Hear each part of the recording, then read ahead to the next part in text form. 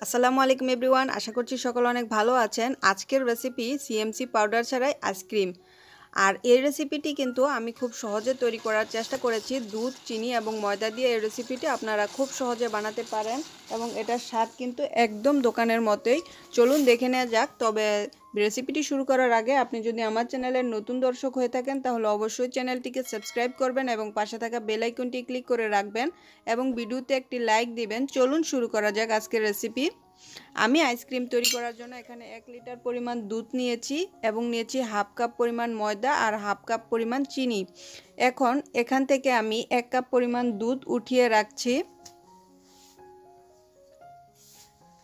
রাখার পর যেখানে আমি হাফ কাপ পরিমাণ ময়দা নিয়েছি, সেটা এই এক কাপ দুধের মধ্যে দিয়ে একটি ব্যাটার তৈরি করে নিচ্ছি।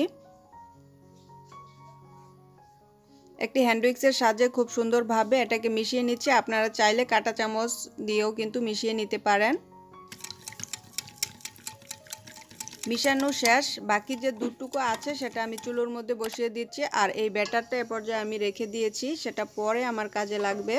চুলার আঁচটা মিডিয়ামে রেখে আমি দুধটাকে জাল করে নিচ্ছি।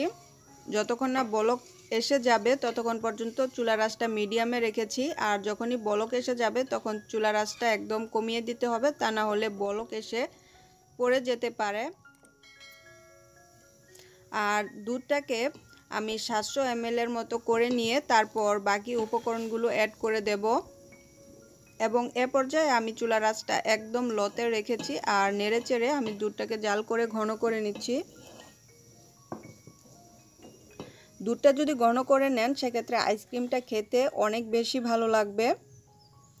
এখন অ্যাড করে দিচ্ছি চিনি। আমি এখানে হাফ কাপ পরিমাণ চিনি নিয়েছি। আপনারা চাইলে আরও একটু বাড়িয়ে নিতে পারেন। তবে এক লিটার দুধের জন্য হাফ কাপ পরিমাণ চিনি আমার মনে হয় যে যথেষ্ট। দুধটা নেড়ে চেড়ে জাল করে চিনিটা যখন গলে যাবে, তখন এর মধ্যে আমি ময়দার ব্যাটারটা দিয়ে দিচ্ছি। আর ব্যাটারটা দিতে হবে আর অন্য হাতে এটাকে খুব ভালোভাবে নেড়ে চেড়ে দিতে হবে। তা না হলে কিন্তু দুধের মধ্যে এই ময়দার ব্যাটারটি দেওয়ার সাথে সাথে একদম দলা পেকে যাবে। সেজন্য আমি দুধটাকে নেড়ে চেড়ে দিচ্ছি আর ব্যাটারটা ঢেলে দিচ্ছি। আপনারা কিছুক্ষণ পর লক্ষ্য করতে পারবেন যে দুধটা অনেক বেশি ঘন হয়ে গেছে আর এটাকে অনবরত অবস্থায় নাড়তে হবে। যখনই ময়দাটা সেদ্ধ হয়ে যাবে, তখনই কিন্তু এটাকে নামিয়ে নিতে হবে। তবে নামানোর আগে আপনাদের পছন্দ মতো একটি এসেন্স এখানে যোগ করতে পারেন। আমি এখানে আমার পছন্দ মতো হাফ চা চামচ পরিমাণ চকলেট এসেন্স দিয়ে দিচ্ছি। আপনারা চাইলে হাফ চা চামচ পরিমাণ ভ্যানিলা এসেন্সও কিন্তু অ্যাড করতে পারেন। তারপর একটুখানি নেড়ে চেড়ে এটাকে নামিয়ে নিচ্ছি। এ পর্যায়ে আমার এই মিশ্রণটি হয়ে গেছে, এখন চুলাটা অফ করে দিয়ে এটাকে ঠান্ডা করে নিচ্ছি। আর ঠান্ডা যখনই হয়ে যাবে তখন আমি এই পাতিলের মধ্যেই এটাকে একটু বিট করে নিচ্ছি। আপনারা চাইলে হ্যান্ড বিটার অথবা ব্লেন্ডারে দিয়েও কিন্তু এটাকে ব্লেন্ড করে নিতে পারেন, বাট আমি এমনিতে করে নিচ্ছি। প্রায় চার পাঁচ মিনিটের মতো এটাকে খুব সুন্দরভাবে যে কোনো চামচ, স্যান্ডউইচ বা ব্লেন্ডারে দিলে দু মিনিটের মতো এটাকে বিট করে নিলেই হয়ে যাবে। আর যখন এটা বিট হয়ে যাবে, তখন অনেকটা ক্রিমি হয়ে যাবে। দেখুন, আমি আপনাদের একটু উঠিয়ে দেখাচ্ছি। দেখেই কিন্তু আপনারা বুঝতে পারছেন এটা কতটা ক্রিমি হয়েছে। এখন এটাকে আমি একটি কন্টেনারে ভরে নিচ্ছি।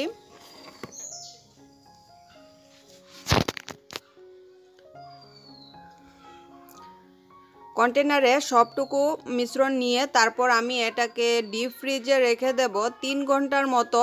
যাতে করে একদম পুরোপুরি জমে না যায়, সেদিকেও কিন্তু লক্ষ্য রাখতে হবে। মনে হয় তিন ঘণ্টা রাখলেই হবে। অর্ধেক পরিমাণ এটা জমে যাওয়ার আগ পর্যন্ত আমি অপেক্ষা করছি। আর তিন ঘণ্টা পর ফিরে এলাম। দেখুন, উপরের অংশটা কিন্তু এটা অনেকটা ড্রাই হয়ে গেছে, কিন্তু ভেতরটা কিন্তু অনেক বেশি ড্রাই হয়নি। আমি আপনাদের একটু চামচ দিয়ে দেখিয়ে দিচ্ছি। এ পর্যায়ে আমি ব্লেন্ড করে নেব। সেজন্য একটি ব্লেন্ডারের জারে আমি অর্ধেক পরিমাণ মিশ্রণ নিয়ে নিচ্ছি। এখন এটাকে আমি খুব সুন্দরভাবে দু মিনিটের মতো ব্লেন্ড করে নেব। আপনারা দেখেই হয়তো বুঝতে পারছেন যে আইসক্রিমটা কতটা ক্রিমি হয়েছে।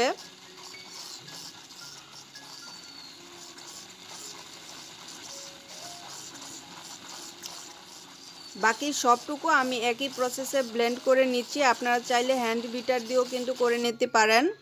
এখন সেই কন্টেনারে আবারও ঢেলে নিচ্ছি। সবটুকুই কিন্তু আমি ব্লেন্ড করে নিয়ে সেই কন্টেনারে ঢেলে নিচ্ছি।